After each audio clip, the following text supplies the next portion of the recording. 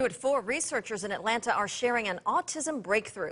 Channel 2's Linda Stouffer explains how studying twins is leading to surprising findings about genetics that might eventually help children even earlier.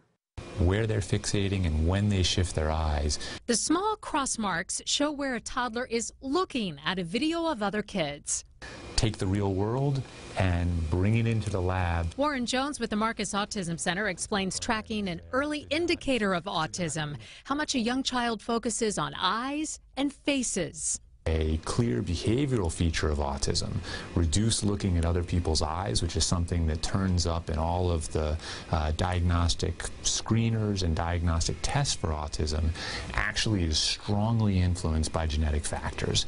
Um, and that's an amazing link. A genetic connection to what children do. Researchers at the Marcus Autism Center are studying twins, like the Carter family, who volunteered for similar research here.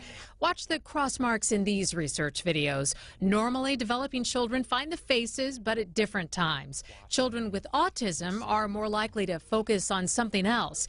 But these cross marks seem to move together.